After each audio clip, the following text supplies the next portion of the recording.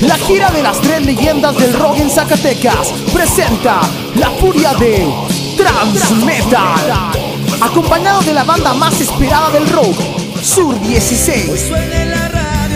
La leyenda del metal mexicano, Alberto Pimentel, a cargo de Leprosy.